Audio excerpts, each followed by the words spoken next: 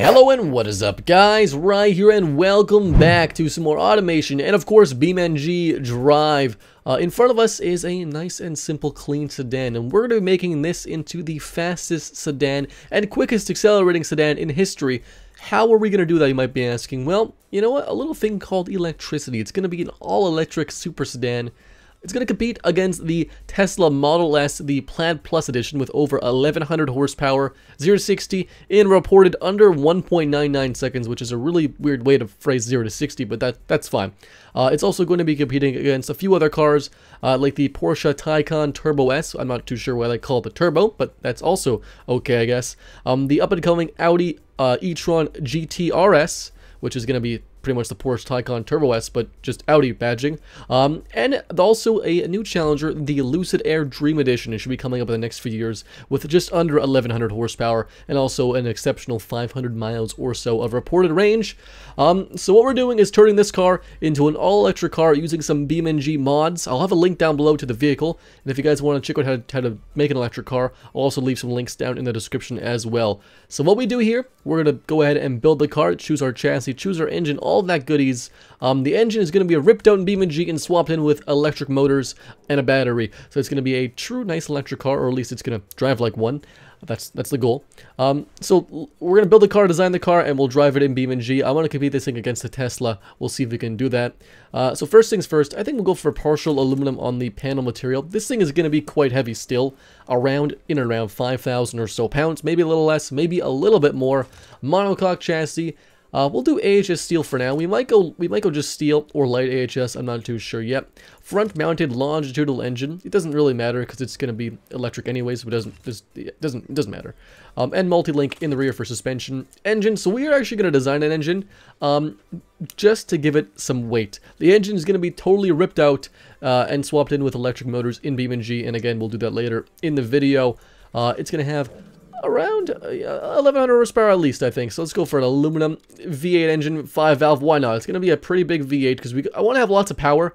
Um, just so we can see a, a, guesstimation on 0 to 60 times. So we'll compare gas versus electric uh, in this, I suppose. We'll go for just a forged steel. Yeah, fully forged, sure. This thing's got to be pretty expensive. We'll make it turbocharged. And, like, a pretty big intercooler. And give it direct injection and 100 octane fuel doesn't really matter because again the engine's getting swapped out. The engine is the least important part of this. So just just just by default here, the car is making a, a pretty impressive 550 horsepower. It is knocking though. 800 horsepower is fine to start. 1000, that's pretty fine to start. Uh, we're going to go ahead and choose the body here. Uh, I'm not too sure exactly which one we're going to choose. We've got a couple options. This is a, well, they're both technically sedans, actually. One's a four-door, one's a two-door sedan. Fun fact, actually, the first sedans were actually two doors. So we can also make um, this one, which is a hatchback, but it's also a sedan. I kind of like the hatchback. That's kind of like 2020 stylish, is to have your sedan actually be a hatchback. But we'll do a, a normal conventional sedan for now. All-wheel drive, dual clutch. It's going to be a single-speed transmission in BeamNG, but this is fine for, for now, obviously. Um, top speed 410 kilometers an hour. This is a slippery body, it must be. My gosh, it's pretty quick. I think the Tesla Model S only does 320 kilometers an hour, um, but we want to hit at least over 200 miles an hour with this thing. We'll go for sports compound. Really thick rear haunches in this thing because it's going to have a lot of power. I don't know how to grab the haunches in this car. This body is a little bit... There we go. Oh, wow, the whole thing sort of moves out. 315s in the rear, which is actually kind of small, honestly. Kind of small. But we'll go ahead and make this thing... Oh, we don't... Okay, we got all or nothing. Well, nothing it is. Okay, 275s front, 315s in the rear. That's kind of small, actually, but I'll, I'll tweak that later on. 21-inch wheels is reasonable. Uh, alloys, of course. We'll go for vented discs, four pistons, and we'll go for vented discs, three pistons in the rear. Quite large. Fully clad under tray because the Tesla is all smooth underneath, and so does this car. It's going to have lots of range, too. You know, it's not about performance, it's about range as well. For a premium interior, I think, it's, it's a luxury car with a performance edge. Um, and then we'll go for like a luxury infotainment. The Tesla is known for having a great infotainment. You know, you got the big screen in the middle. And we're also going to do our best to design an interior today for this car. It might not be the fanciest thing in the world, but it's going to be a gosh darn interior. Um, so we're going all out with this one. Let's go for electric variable steering. Uh, electronic stability control and launch control, the best safety man could imagine. And just like the best springs, but not for active, because active doesn't actually do anything in the other thing. It's just, it's just there. do a generic sport tune just to see what we have basically. So 0 to 60 without any tweaking is 2.6 seconds. 2.6 seconds with only 8 or only 1000 horsepower. I say only 1000 horsepower. It's actually quite a bit slower than the Tesla. Um, but our tires aren't that thick. We could be using semi-slicks that'll probably squeak us out. We could probably tune up for another second 0 to 60. So the goal of this uh, is to be 0 to 60 in around the 1.9 second range or less. If we can hit it in 1.8, 1.7, that'll be absolutely insane. And I'm not stopping until this car can do 0 to 60 in under 1.9 seconds to smash Tesla and to smash any of the competition. So what I'm going to do, like in all my builds, is design the car. We're also going to tweak the things. I'll tweak the entire car, the suspension, and all that stuff in the time-lapse, and I'm also going to narrate the time-lapse, of course. Um, before I do, make sure to leave a like, comment, and subscribe on the video. If you guys want to see more automation, definitely subscribe. What are you waiting for? More BeamNG, subscribe. So let's let's design the car. Uh, sit back, relax, guys, and of course, I hope you enjoy. And we are now starting the build for my all-electric super sedan. Uh, the beginning, uh, I'm just trying to find out what kind of vehicle I really want to create, what kind of design I want to have, and we do end up going with one similar to my previous uh, Neon vehicle, which is the least reliable car. I'll have a link for that video down below. It's got a bit more of a Hyundai uh, Elantra vibe to it, I feel like, but just tweaking with things in the front end, so it's got a much more wider, much more horizontal front grille. Um, but that grille is going to be covered up a lot later on in the video because it's an electric car, doesn't need that much grille, doesn't need any of this grille really, but we're going to cover up a lot of it. It'll still have a little bit for a little bit of battery cooling or whatever later on. The headlights are going to have these sort of dual turd signals and one uh, daytime projectors actually above that. So we have a daytime projector strip that we just turn into a bunch of dots above it. We have the LEDs next to that as, or under that as well. We cover up a good chunk of the front grille because we actually don't need that much space and, you, you know, add a few details here or there to the sides. Uh, changing these side air intakes, having a little bit of a body color, a little bit of black to have a little bit of contrast in there. Uh, adding a bit of a hood bulge, playing around with some hood scoops. We do end up getting rid of the hood vents and hood scoops and stuff. We don't need them. I'm trying to figure out now what I want to do for the actual, you know, uh, detail on the grill, I guess is what they'll call this. Um, I do end up with these sort of horizontal bars similar to the previous Neon and then add the Neon badge above that. Uh, the interior, yes, we are making an interior finally. Um, it's going to be a rather simple one. We've got this pretty simplistic dash that goes all the way across, of course, the front of the car. I don't know why dash wouldn't. Uh, we have a gauge cluster that's quite wide above that, and then a, a portrait style, you know, vertical screen next to that. We do add the door cards, or a very basic door card, definitely not a fitting of a 2020 car. The steering wheel is very basic. It's a very basic 3D fixture, just painted gray. And then we have some rear seats, and we have the front seats all placed in, and currently like a white leather kind of color with a gray dash, etc. Adding a few details on the side. Uh, we are making our own door cutouts um, because we are covering it up with our own details and whatnot, adding the back sort of trunk area. This is a kind of a weird design for a vehicle. Got a very, very, very large panoramic sunroof. Basically, an entire roof is just a piece of glass. Um, the rear end taillights, this was the, the, most frustrating part for me. It took almost an hour just for the taillights. This was my longest ever video build. As you can tell, this is like three or four hours of footage, or three hours of footage. We have like four or five not in footage that I just deleted. Um, so the rear end, we are starting off with a basic shape similar to the front end with a sort of a V or U-shaped grille in the middle with the uh, chunky-ish taillights. They do get bigger later on. I'm not too happy with what we have here. So I have the whole rear end pretty much made. Um, and I just start sort of tinkering with it, making the lights a bit lower, making them a bit bigger here or there. I'm adding a few more details to the rear, so I keep slowly making them bigger uh, to match the front end a little bit more, because there's a lot of real estate on the back, and I, I do try to fix it to make it look better. Um, we end up having these sort of horizontal bars, light bar going across the top of the back. and we have a turn signal down below with a main red indicator or brake light in the middle. Adding again some more details in the back and our own trunk cutouts because we need some trunk cutouts for the car obviously. And then adding a massive rear diffuser. This is a performance model. We don't need any exhaust. Well, we do need a big rear diffuser. Uh, changing the color.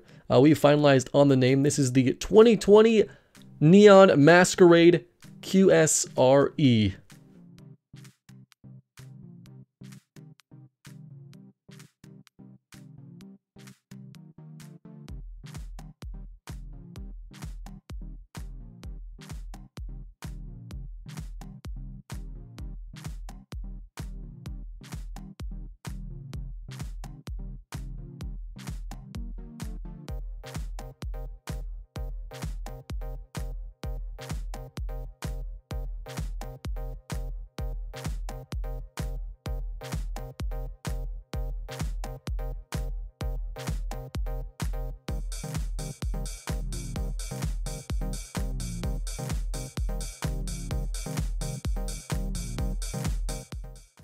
Alright guys, like I said, in front of us is the 2020 Neon Masquerade QSRE. Uh, QSRE, or the QSR, is the performance moniker for the Neon brand, similar to my previous Neon I made about a week ago, which is the least reliable car. I'll link that video down below. It's the uh, the Neon Extravaganza QSR. It's the sort of performance-oriented version. The Extravaganza was terrible, though, in every way, but it was kind of a meme. So the Masquerade is a much better car. Uh, it follows a similar design to the Extravaganza. It's got this sort of V, sort of U-shaped grille. Uh, it's a bit wider and a little bit less vertical, a little more horizontal. Um, also, there is no uh, actual projector headlights in the side vents because this car is a much slimmer, much shorter front profile because of course it's a sedan and not a crossover or a Nissan Juke or whatever that was back then. Um, so yeah, the headlights, they have the same pretty much shape as the previous one. A, a bit larger, I think, uh, and they look really good. It's got these sort of dot projections then instead of like one bar. They also have the turn signals left and right that are sort of just there as well. So they, they look really cool. Um, the theme for Neons is having the, sort of these, these two lines. So we have the two lines following right here a little bit, goes down into one line, and goes back up into two lines on the other side. Um, the grill is similar to the previous one. You might notice the grill is, is quite large for an electric vehicle, and, and that's true. You know, I thought the same thing when I was making this car. So what we have is some black plastic, some gloss plastic actually covering almost the entire grill. We have one tiny area. We have this side area to, I guess, cool the brakes, etc. So there actually isn't a whole lot of functional grill on the Masquerade.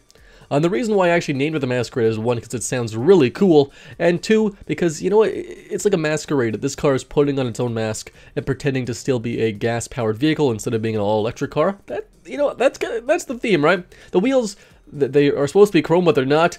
Uh, if you actually notice, the side has this really big indentation, which I kind of like. It sort of just goes into the top of the pack um, rear diffuser. There is no door handles. There's just sort of these keypads, which actually, when you think of it, look pretty not great. But uh, they're supposed to look better than they are like this. We'll just change like this real quick. So it's got these little keypads. We have an interior fully done, as you might be able to tell. We'll go over that as well. Let's just change this to like other things just so, um, just let me click. Good enough. Just you can't see it. So it's got these little keypads to, you know, swipe your key card to get into the car. There's no physical key probably. Uh, it's got kind of small brakes, but they're actually fairly sized. The interior is pretty simplistic. There is no floor, but that's that's okay. You guys wanted me to do an interior. I did a pretty basic interior. The back doesn't really matter as much as the front. So it's got a tablet-style portrait screen uh, in the middle there, and it's got this big display over top, which doesn't actually have any functioning. Now, I was going to actually put like gauges in it and stuff. I decided just to keep it as a black, like a screen, an empty screen, because when this car is off, which it's off right now, it's just a perfectly black, minimalistic, clear screen. I wish you could uh, change the steering wheel, the colors of all the buttons and stuff, but it's just going to be a gray steering wheel. And the seats, I don't know if I'm digging them 100%. They're a little shiny, but, uh, you know, it's got this sort of gray fabric, and we have this white sort of leather on the outside. I don't know, that's, the, that's what I was going for anyways. Uh, it's got this absolutely massive panoramic sunroof going across the entire thing, similar to the Tesla. I think the Model Y, etc. has that. Um, this thing is even bigger. Of course, it's got to be bigger than that, better than that. Back end, it's harder to see because, of course, uh, there's a lot of red because it's it's the, the rear of the car. If we turn off this, so it's got this light bar going all the way across with these sort of pointed headlights or tail lights similar to the headlights. Then it goes um, into the middle bar, and we have this other one right here, and we have the brake light in between. So we have the brake lights or turn signals, and we have other all the other stuff in there as well. We got a neon badge in the back, a similar sort of V or U shape in the back as to the front grille, um, with some more little indentations and lines. Actually, if you notice, all the door cutouts, all of the back trunk cutouts are actually all custom made. This car is my longest build for a video by a good bit. Uh, I spent hours and hours redoing the design to be somewhat happy with it. I'm not 100% satisfied with the, rear, with the rear, but that's okay. I love the front, I love the side, although it's hard to make it perfect so you see these square lines. In the in the photos and stuff, you can't really see them, but in here you can see them a bit more. Um, in the rear diffuser, obviously, there is no exhaust. You just have some diffuser to diffuse air, probably. Um, we have these little lights in here as well. It's, it's a pretty simple car. Uh, the front is very complex, but the side's pretty simple. The back's pretty simple. There's just a lot of layering. If we actually go ahead and hide uh, the not the, bo the bonnet, the body, you can see all the stuff placed. So the entire front end is pretty much remade.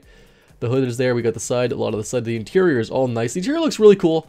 Mine, I'll do an interior in the future. It'll be a lot more detailed. I wish you can change more colors. It's even got armrests with the the latch and some buttons for windows roll up and down, etc. I'm not too sure what they'd all do, but you know, they're, they're there. They're there. So all we have left to do um, is modify this car the JB of it to make this car into electric. So we're gonna make it a single speed transmission. You got you got forward, reverse, and neutral. I don't know why you need a neutral because it's an electric car I guess you can just spin up the motors. I'm not sure.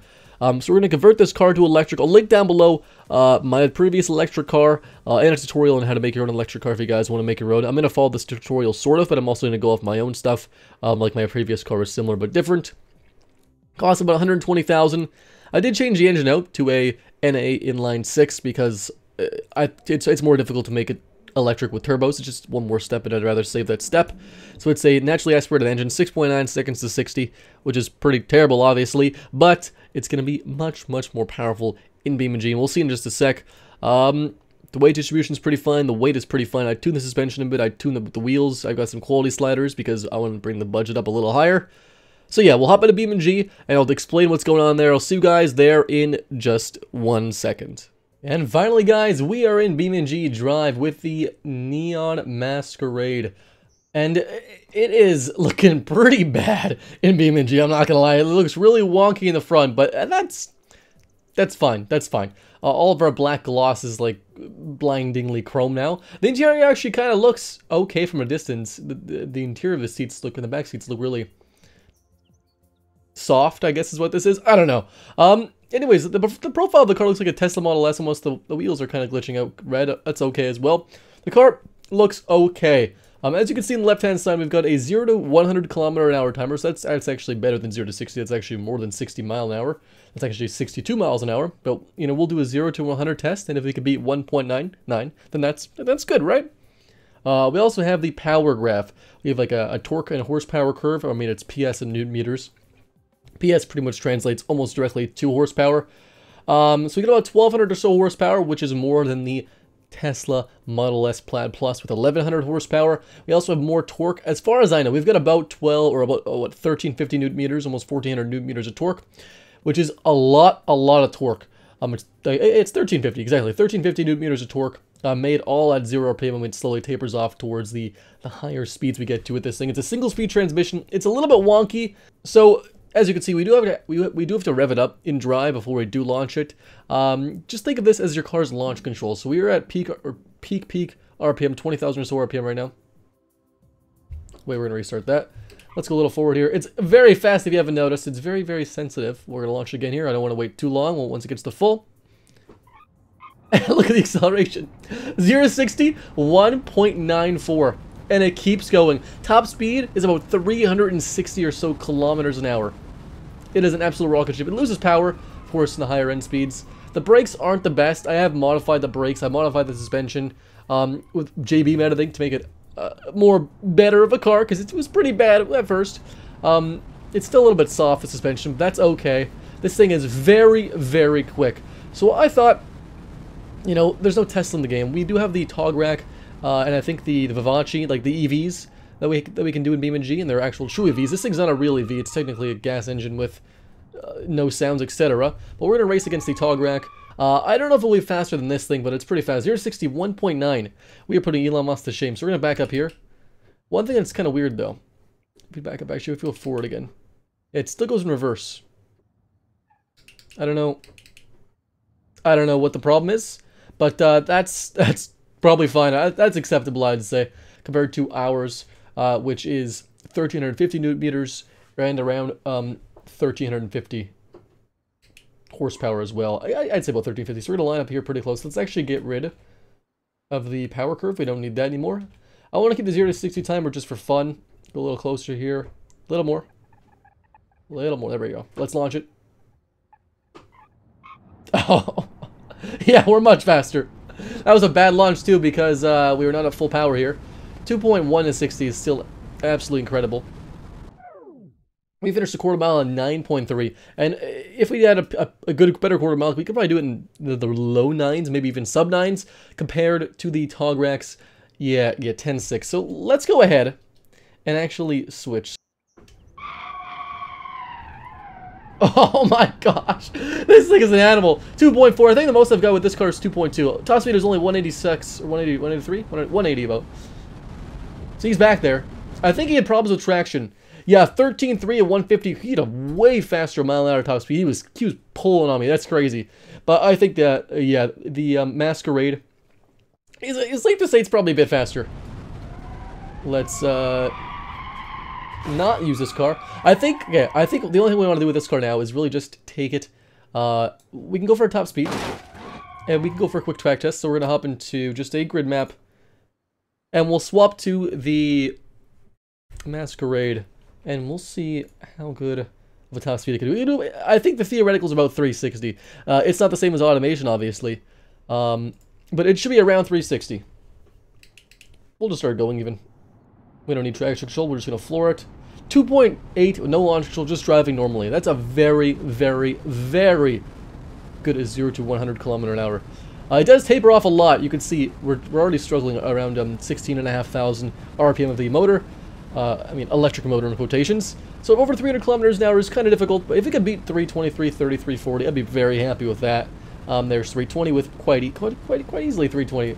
I do love the um, the roof. It's just very crazy. It's very I don't know. It's a little big maybe, but it's it looks good. I like it.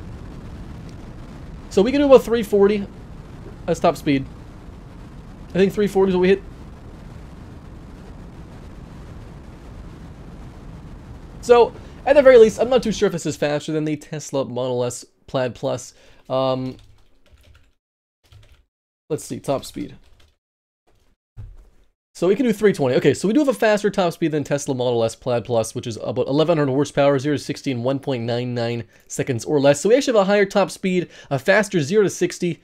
Um, and this thing actually brakes super well. If you just launch this thing, yeah, it's not it's not as quick on a prep on a non-prep surface. I'll tell you that right now. We brake here, the brakes they squeak a little bit, but it stops.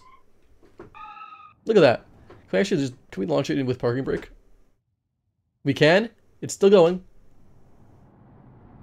That's pretty cool.